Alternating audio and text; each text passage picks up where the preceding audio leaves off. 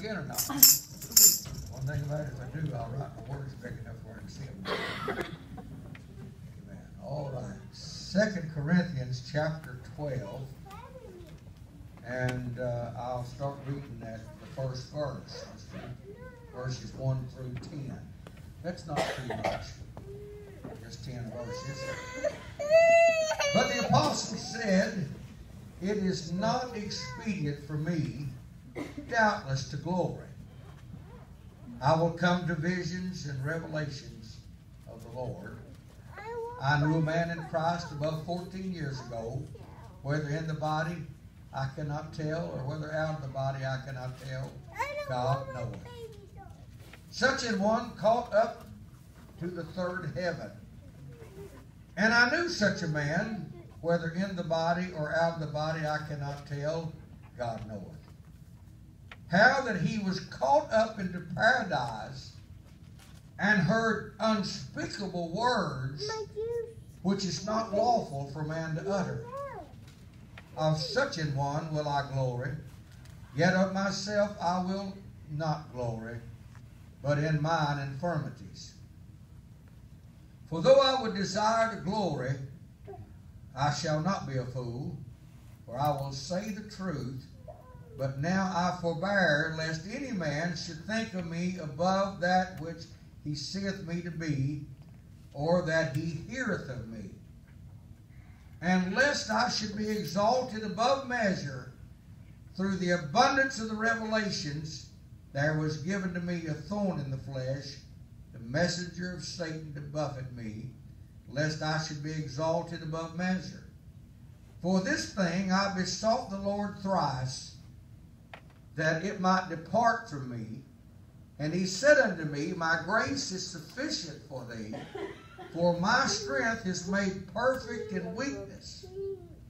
But my strength is made perfect in weakness. Most gladly, therefore, will I rather glory in my infirmities, that the power of Christ may rest upon me. Therefore, I take pleasure in, in infirmities, and reproaches, and necessities, and persecutions, and distresses, for Christ's sake. For when I am weak, then I am strong. Thank you for standing for the reading of the word today. When I'm weak, then I'm strong. Come on. Strength through weakness. Come on. Strength through weakness. We look at this remarkable page of Paul's autobiography. Things that he wrote about himself. He didn't write a whole lot about himself. Mostly wrote other experiences, doctrinal things to the church. But here we talk, we find him talking some about himself. Paul belonged to a great army of believers Come on. who had their hearts pierced, pierced with the darts of many, many sorrows. Come on. Yet he continued to do his work for God. Uh-huh. He never stopped. He never Come on. faltered. He never failed. Help. Regardless of what hit him, Uh-huh. he kept going. Yeah. I'm telling you, there's been times that I haven't done so well. On. But I'm sure that if we could call back all about Paul's life, there were times of recuperation for him too. Absolutely. Come on. That's right. There were times whenever he had to stop and regroup, Uh-huh. Come on. regain some strength, and then keep going on for God. Right. Hallelujah. Don't you imagine that there were times when there were great crowds coming by to hear him, and then there were times when there were just only a few. Right. I read where uh, uh, uh, he said that people said about him that his words were bold when he wrote a letter, but then he wasn't that good of a preacher whenever he come to them. And so, so Paul had all these things to deal with, and uh, yet, yet, uh, uh, he talked about this thorn in the flesh. Uh-huh. Now, the reason of the thorn, we can already see that uh, he didn't want to mention his own name. He didn't to pat his own self on the back, so he knew a man once, told about himself, that for whatever reason he was caught up into the third heaven. yeah. into paradise, and he heard some things that wasn't even lawful for man to utter. And there's been a lot of uh, uh, things said about that. Was he caught up in the ecstasy of prayer, or I'm telling you, I'm just giving you my opinion. Come on. For whatever it's worth, he was stoned. I believe that. Come he on. was left for dead. Right. Yes. They thought he was dead, and he could have been, but yet, in the meantime, God chose to let him just rise right up out of the rock pile. And do you think that while they had the life just about beat out of him, Woo! amen, that God just let him see some heavenly things? Yeah. Yeah. I believe he that. said later, he said, it's better for you if I stay, but uh-huh. it's better for me if I go. Yeah. Right. After he'd oh, seen all those heavenly things, Brother Tom, amen, he just could not get them out of his mind. Right. I'm going to tell you, just as soon as the sooner we get on our faces and seek the face of God where we can see heavenly things, the more we'll have difficulty of getting these things out of our minds. Right. The more we see of God, the less we're going to see of ourselves. That's right. Now, uh, I don't know what this thorn in the flesh was, Paul mentioned. I don't. Uh, I'd like to hurry and preach, but just bear with me. I, I, don't know what it was. Uh, I, I was teaching Sunday school class over the old building several years ago. And I said, I don't know what the thorn in the flesh was. I mentioned several things that that uh, I'd read that men felt like it pos- possibly was, but uh, somebody spoke up and said the Bible's plain with it. And then he talked around for four or five minutes there, talked himself into a circle, and I didn't understand what he meant. Nobody else did, I doubt if he did. Amen. Because the Bible's not clear on what that thorn in the flesh was. But whatever it was, it was more than just sticking your finger with a briar and having a piece of, uh, of the briar left in your finger. It was something that was so serious that it caused him great distress. Right, yes. Amen. Hallelujah. And yet he wanted to continue on doing for God. He wanted God to take it out. Right. He wanted God to remove it. Because it was something, obviously, that he could not take care of for himself. Right. Amen. And he contributed it to be a messenger of Satan. From Satan, yet God allowed it to take place. We look at something like that in our life, and I wonder how many of us run and pout. Come on. And say, but God, you should have moved it. You should have moved it. And I've got situations going on now, and you do too, some of you, that you would pray that God would move. Come on. And yet, for whatever reason, he still hasn't moved yet. Amen. This thorn in the flesh that's continuously disturbing our peace and disturbing our mind. Come on. Amen. Hallelujah. But Paul looked at the thorn and it was hindering his work. It was something that took down the proud flesh that he could have had stop to think about it. I know I'm not going to bore you today. But who Paul was. He gave his pedigree, if you will. He gave his who he was. He was a tribe of Benjamin, and, and I'm telling you a whole big list of stuff down through there. Uh-huh. When he got to talking about the end of it, that was nothing. Yeah. That was nothing. He counted Christ more than it all. Yeah. Amen. Hallelujah. It kept down spiritual exaltation. I've looked around and I've seen men that's a whole lot younger than I am, and, and it appears that for a while they run high, and then this, they got a tremendous ministry, and then after a while it it just fizzles away. And it's not the will of God that we fizzle away. And I realize God can take us from one place and put us in another. He's never chose to do that to me either. I just uh, continue to stay right here. And God could put us one place and put us uh, and, and, take us from one place and put us in another. But yet we see ministries after ministries just fizzling away. Uh-huh. Why does that take place? I'm talking about men who who preach camp meetings and and, and, and have great, great ministries, and then all of a sudden you never hear of them anymore. Right. It's because they get so exalted in their flesh that people can see through it. Uh-huh. I was at a church probably, it's been about 35 years ago, maybe, maybe 36, 37 years ago. I was in a church and I walked in and sat down by the pastor. And uh, he, he was an older man. He had a walking stick in, in, in between his legs and we was sitting there and he bounced it on the floor at some time in frustration. And he was in revival with a preacher there. And the preacher was a pastor. And he called him and said, I feel like coming for revival. And he told me, he said, he will come Monday through Friday, Monday, Tuesday, Thursday, and Friday, and said then he won't come Wednesday because he's going to go back to his church. And then he won't come Friday and Saturday because he's got to go back to his church. And so he wants to come here and hold a revival. He said, and help this church, and then him just come four weeks, or four days out of the week, four nights. Mm-hmm. And so when the preacher got up, the evangelist got up to preach, or pastor evangelist got up to preach, he was bothered. He was bothered because there weren't too many there that night. And I've said, I've used this illustration before, but bear with me. I'm talking about getting exalted in the flesh. Uh-huh. He was bothered because there wasn't too many there.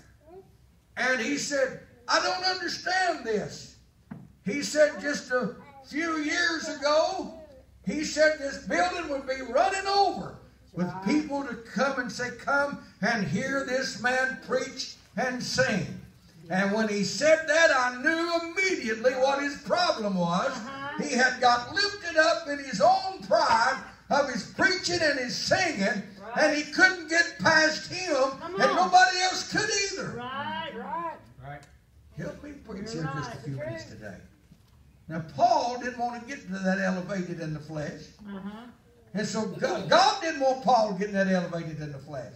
No. And he put that thorn in his flesh to keep that elevation from happening. Yes. Amen. How many times have we looked around and we've seen sheer talent? I mean, some of the best you could ever see in your life. Amen. And God really moving in their lives. And then whenever they looked around and I'm making it on my talent, then after a while, it's gone too. Uh-huh. Let me preach. That's right. Hallelujah. Amen. But Paul took refuge in prayer. That's what he did. He took refuge in prayer. And he was able to accept this thorn in the flesh reluctantly, but without protest. Right. Hallelujah. There's things that I go through and you go through reluctantly, but God help us to go through these things without protest.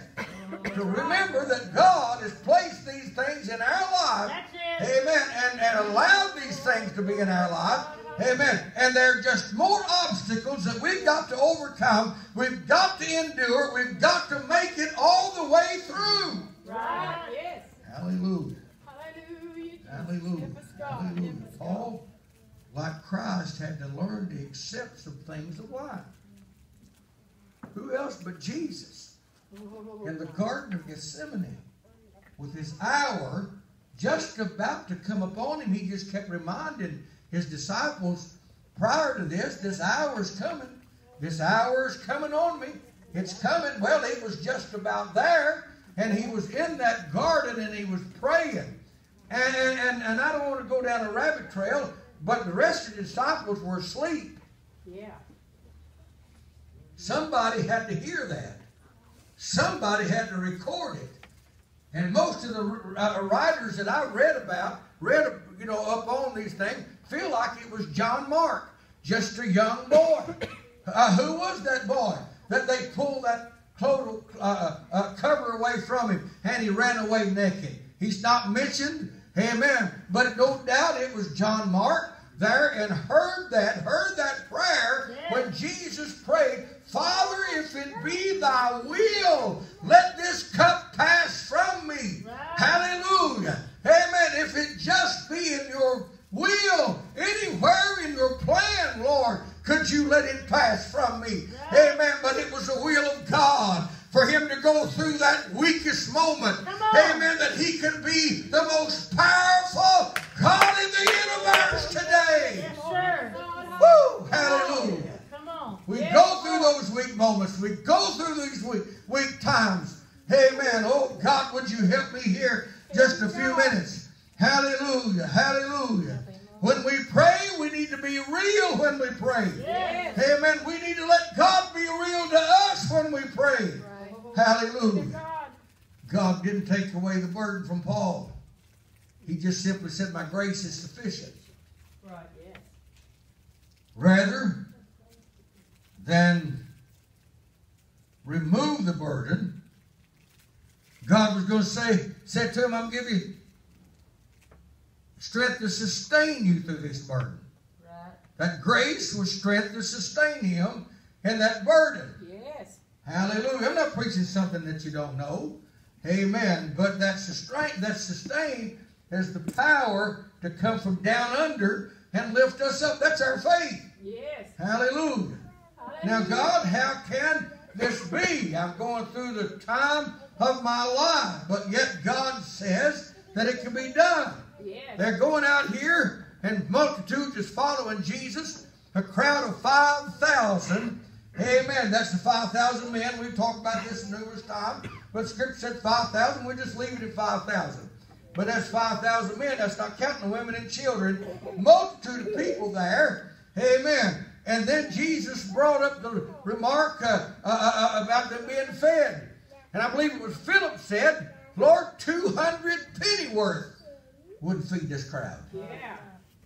Now I looked up 200 pennyworth, and to the best of my knowledge, what I found out, that it was about 200 days wages. Now that's about a little over six and a half months worth of work for the, just a regular man out there. A denarii, denarii, ever how you pronounce that, was a day's wages. And uh, so he said, uh, uh, uh, it'd take a man six months, Lord, working and take all of his pay to be able to feed this crowd. Hallelujah. But Jesus just asked what they have among them and found a boy with two fishes, wouldn't it? And five loaves of bread. Amen. And he took that and he blessed it. Amen. And, and, and passed it out. And multitude was fed there that day. Unto him that hath it shall be given. We've got something to go on today, Yes. but we've got to trust God for the rest of it all the way through. Right. Well, I'd like to preach if I could. Hallelujah, Jesus. Help us today. So he fed them that day, and then with nothing, Yes. fed them, and it was a great crisis that they had run into. Yes. And when you stop to think about it, when we're going through it, and most of us do. The wider we open our mouths, Yes. the more we're going to receive. But if you've done like I've done in past times, whenever we start going through it, that's when we climb up. Oh, God. We don't feel like praying. Oh, God, I can't pray. I've been there. I'm not making fun of you. I've been there. And if you will, I'm. I could still be going through more things than you know about. Amen.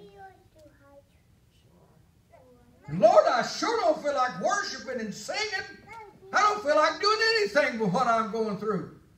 But I've found the wider I open my mouth, the more I receive from the Lord. Yes. Hallelujah. The quicker I get an answer to my prayer, the quicker I get an answer to the need that I've got before Him. Or if I don't get the answer I'm looking for, at least I get the strength to sustain me while I'm going through it. Yeah. Right. Well, hallelujah. God. I guess this ain't no shouting message, but it's what I feel like to us today. Amen. God's strength works in our weaknesses. First, we got to realize that we're weak. Before you ever get saved, you got to realize you're a sinner. Now, I don't like this term. I'm a sinner saved by grace. I was a sinner, but now I've been saved by grace. And I want to tell you, after we've been saved by grace, if we get so high that we think we cannot get back down and do something just please God and even outright sin, Right. you are badly mistaken. Right. You are badly mistaken. You are terribly mistaken. Amen. Hallelujah. Hallelujah. We've got to realize we're weak. Next, we've got to have that faith that God is going to supply the strength. Now, when we got attacked and something attacked us, the enemy allowed it to attack us. He, he did it. God just backs up and allows him to. God allows him to do what he's doing. He don't stop him from it. The first thing we start thinking about is that's me. I'm me. Somebody done this to me. Somebody done this and that and the other, and this happened to me. And God, you know who I am and why did this happen to me? We start feeling real bad about it. Real bad about it. Amen. And we lose our faith that God is going to supply us the strength to bring us out of it. Yes. Psalm 119, 67, the psalmist said, Before I was afflicted, I went astray. But now I have kept thy word. Went on down in verse 71 of the same psalm, and it said, It was good for me that I have been afflicted, that I have been afflicted, that I might learn thy statutes. Right while we're going through the trial of our life is when God teaches us really who He is if we allow Him to have complete control of our everyday life. Come on. And my back is so much better. Sister Esther talked me into going to chiropractor last week. I had never been to one. And I'm telling you, it was the burning sensation up here, just a little, almost between my shoulders, had been there ever since I fell here in the floor off of them scaffolds while we were working here, while they were working here, and I was just in here gomming around, and, and, and fell down there. And my back has been in a bad shape ever since. I couldn't get any relief. And uh, when I think I was getting a little better, then I'd do a little something, it'd get worse. And so I go in and and the, and the chiropractor has me lay down on this thing. It's like a small water bed, and uh, and it gets warm and it just shakes you all over. And I'm laying there flat on my back, and I think I am going to die if they don't come in here and get me off this thing. I can't take no more of it. And finally, I put my elbows down under me and raised myself up a little bit to relieve the pain, and took my left leg and come up like that. And I sat there, and I'm still in pain, laid there, but I just about went to sleep. And then whenever the lady come in and got me up from there, and took me in and laid me down on another thing, and instead of laying me down on my back, on my belly, the way I've seen him do her, uh, uh, uh, and, and pop my back, uh, he didn't do that. And I laid down on my belly for him to run his finger down and see where the problem was. When he saw where the problem was, he says, now turn over. And when I turn over, amen, then he puts his fist down under my back, and he gets me over the shoulder and he shoved me down on that. The pain was excruciating. I'm surprised they didn't hear me all the way downtown. Amen. And then he does the other side that way. But I get up and I get to feeling better. Amen. I've been feeling better ever since. I'm telling you, sometimes we go through things, and when we do, and God brings us all the way through it, we realize that we're better in the long run. Right. Are you helping me preach? Come on. Hallelujah. Psalm 129 2 said, Many a time they've afflicted me from my youth, yet they have not prevailed against me. They've not got the upper hand. And I think sometimes we sing those songs, we don't sing it much here, but I've heard it sung.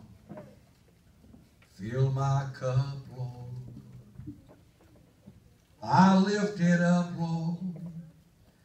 Come and quench this thirsting in my soul. And then I don't know how the rest of it goes. That's all I have on my mind.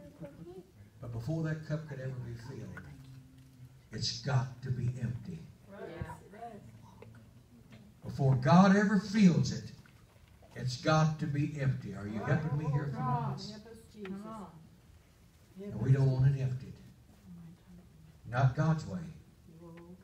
I've protested many, many times, Lord. Why this? Why this? Why that? Why is this going on? Why is that going on? And yet it still goes on.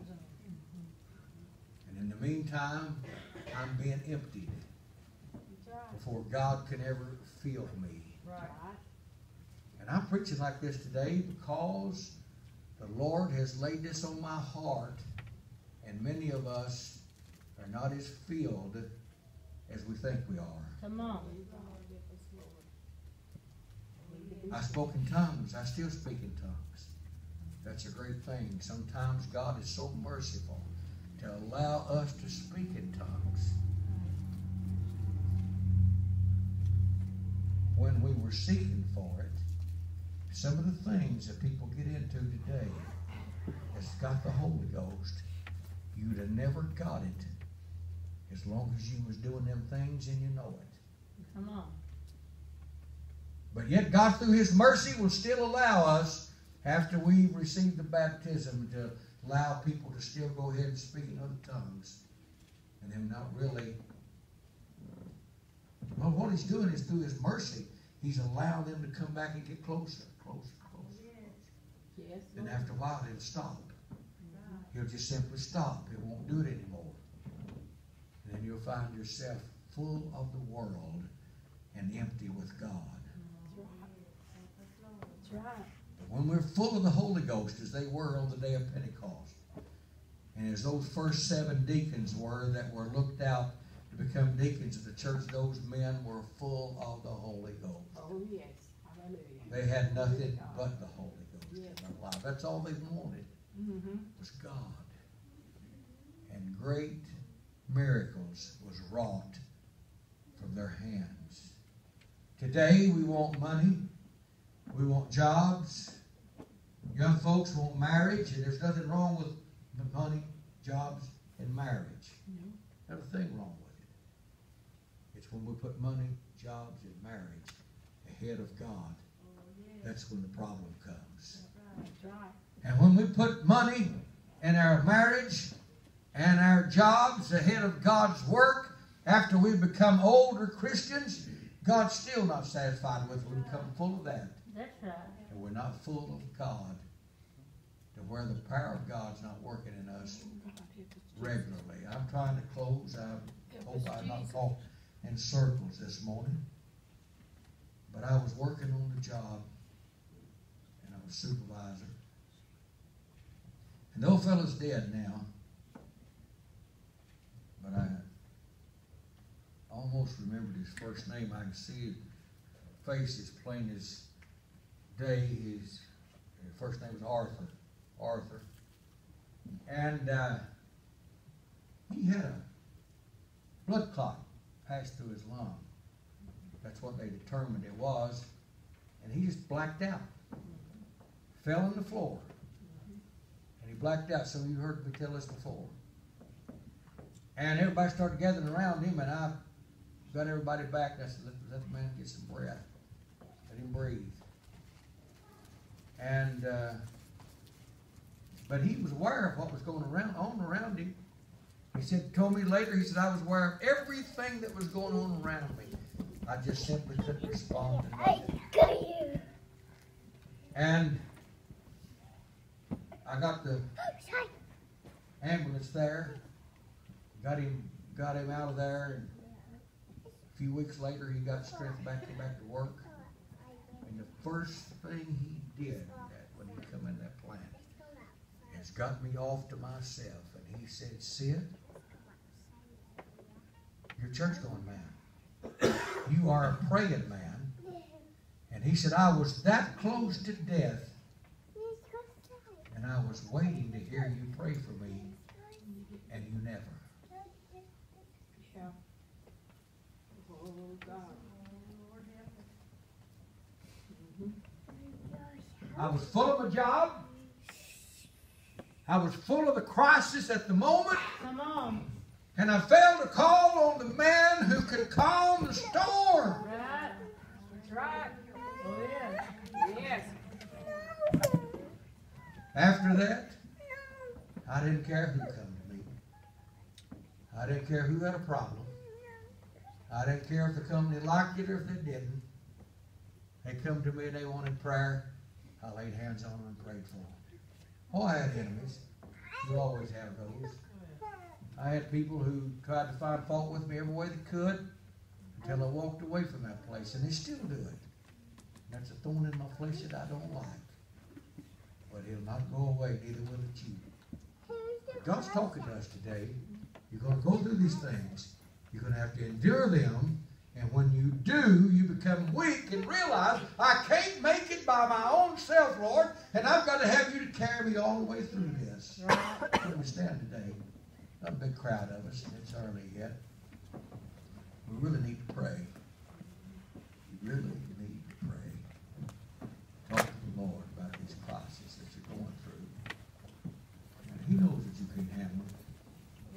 But you've got to learn that you can handle it.